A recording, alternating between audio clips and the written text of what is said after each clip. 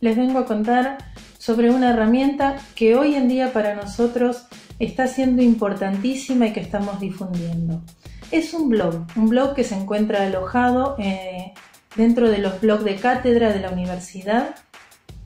Un blog que en febrero de este año surgió por una iniciativa propia de la dirección, tener un lugar donde reunir nuestro material, nuestras producciones y material que nos resulte de utilidad, pero que cambió de objetivo con la virtualización de las clases. Desde la dirección, con toda la universidad, nos ocupamos de garantizarle los apoyos que necesitan los estudiantes con discapacidad para que ellos puedan estar en la universidad, estudiar, transitarla y egresar también.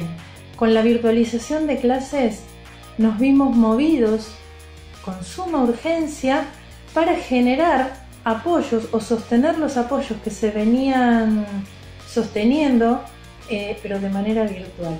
Todos tuvimos que aprender cómo hacerlo, nos pusimos a trabajar la gente de la dirección, todos los referentes eh, y los que forman parte de la Comisión Universitaria sobre Discapacidad. Y en este blog empezamos a recopilar todo aquello que nos podía resultar de utilidad.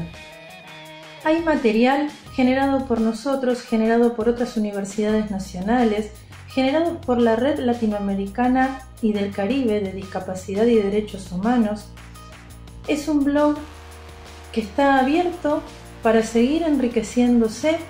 Los invito a conocerlo, los invito a hacernos sugerencias, a aportar material que lo pueda enriquecer y a que estemos en contacto de manera que, que, bueno, que los estudiantes con discapacidad puedan seguir transitando sus cursadas igual que el resto de los estudiantes.